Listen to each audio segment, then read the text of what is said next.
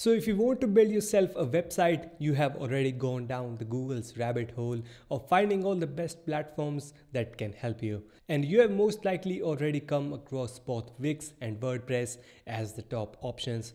So which of these two works better? What could suit your needs more?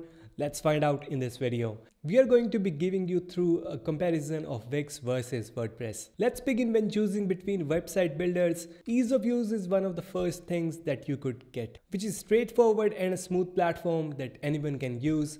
The entire editing process is visual and changes can be made there and then similar to Microsoft Word and PowerPoint by only answering a few questions which can have a website tailored to your needs using artificial intelligence. If you wish to make changes, elements can be resized and moved in a click. On the contrary, you won't find a drag and drop page builder, but multiple menus and work. The recently launched Gutenberg editor has improved the experience, but you will still have to switch pages to preview your work, which can get slightly annoying. Simply put, WordPress has more complicated system as pages need to be built from scratch. This is a plus if you know your way around coding as you can customize nearly anything to suit yourself. At the same time, this can be time consuming. For ease of use, we definitely give it to Wix by a huge margin next up price, which is WordPress to use different methods of pricing, but they are definitely comparable, which offers a free basic website builder. But with ads stapled on your website and no custom domain, your audience won't be impressed. Starting from $4 a month, you will get everything that you need, including hosting themes and storage in seven premium plans offered by the Wix App Store. It isn't covered in the plans though most of the apps are free. On the other hand, WordPress requires you to have pay for each extra feature that you may need. Hosting providers like Bluehost charges around $10. The cost increases as you add plugins like WP Forms, which starts at $40 a year. When these additional charges pile on your WordPress, it can turn out to a bigger investment. Still, this allows for more flexibility as you can choose from more contract durations and spend only the features that you need. So for the price, we are going to call it Next up is the e-commerce port. If you are looking to start an online business, you would be interested to know which website builder is better for ecom. When using the Wix, all you need to do is sign up for the e-commerce plan.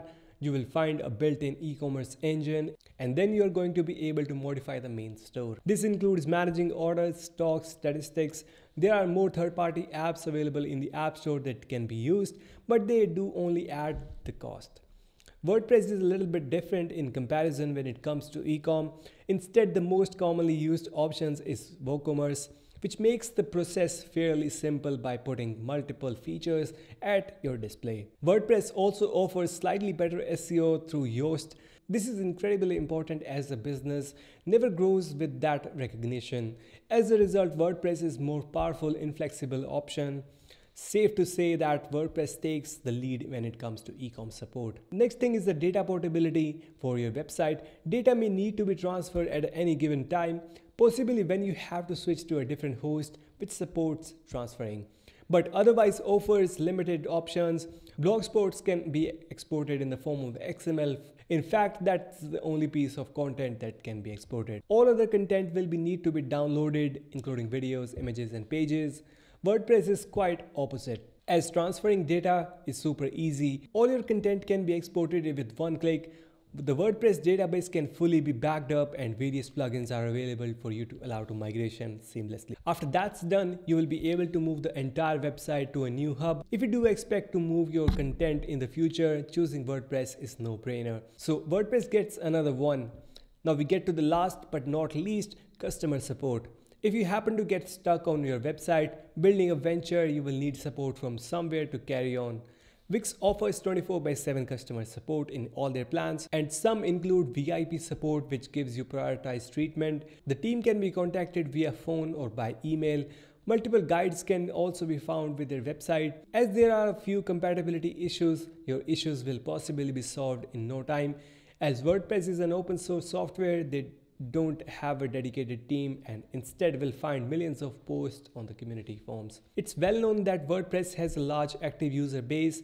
This means that you can get help from skilled developers and you can easily find solutions to the common problems. However, for personalized experience, Wix support teams will always be at your desk. For customer support, we gave it to Wix. That brings us to the conclusion of this video with both Wix and WordPress scoring equal. Well, it actually comes down to an individual's need. If you are an inexperienced user, Wix is an obvious choice. But if you are more demanding on it, exactly what you need, a flexible WordPress might be the way to go.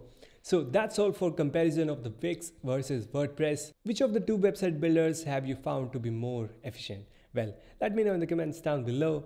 And make sure to give this video a like and subscribe to the channel, turn on notifications. And thanks for watching. I'll see you in the next one.